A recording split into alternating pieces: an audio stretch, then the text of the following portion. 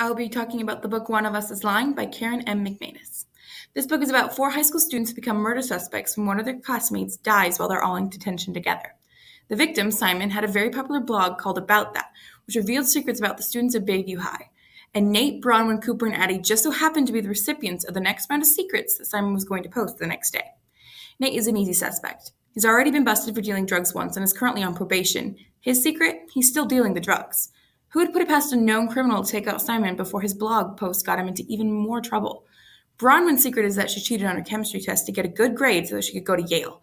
Even though she's quite the rule follower, could this goody goody have decided to take him out in order to pave her way to one of the top colleges? Cooper, a star baseball player with an amazing arm, has his own secrets. Simon's blog accounts for Cooper's recent pitching speeds to steroids, but Cooper's real secret was edited out of the original blog post. Only Cooper would have done this to keep his real secret safe, right? And lastly, Addy, always at her boyfriend Jake's side.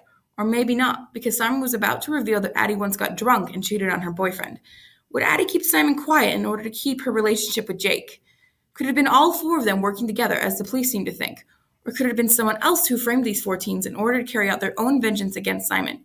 He did have a lot of enemies. Read this book and find out who is telling the truth and who is lying.